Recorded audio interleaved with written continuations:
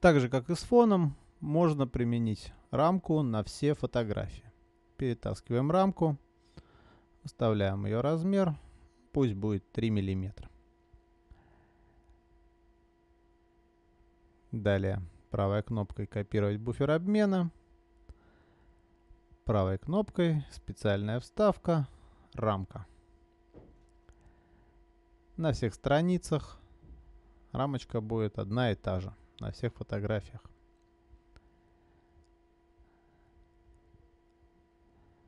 Это была простая рамочка, можно взять фигурную, например, вот эту.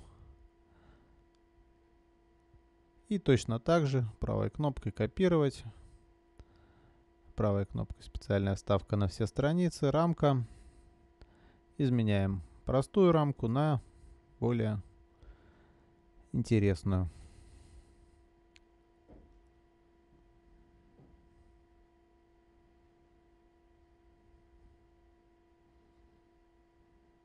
На всех страницах рамка стала одинаковой.